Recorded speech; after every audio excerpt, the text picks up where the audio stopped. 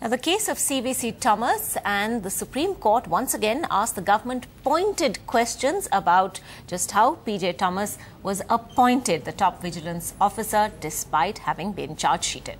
The court suggested that for the future, they may frame guidelines on the appointment of the Chief Vigilance Commissioner. Siddharth Pandey was there in court. He reports what happened. More embarrassment for the government defending the appointment of Central Vigilance Commissioner PJ Thomas in court.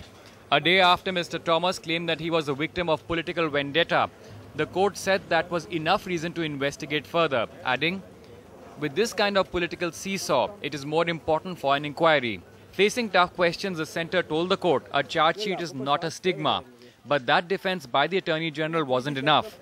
The court wanted more details, specifically on how the government narrowed down from 54 probable names to just three, and then to Mr. Thomas as the Chief Vigilance Commissioner.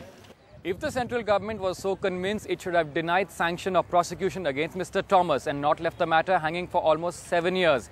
That's what the Supreme Court said, saying that while the CVC has to be simply outstanding, but he also has to be above and independent of his political masters. And in a startling admission which could raise the heat by the opposition, the government also admitted that there are no fixed guidelines for the selection of the Central Vigilance Commissioner or other vigilance commissioners. Not satisfied, the court, however, has asked for more details, saying the process will have to be streamlined. The last word on this clearly hasn't been said. In New Delhi, Siddharth Pandey for NDTV.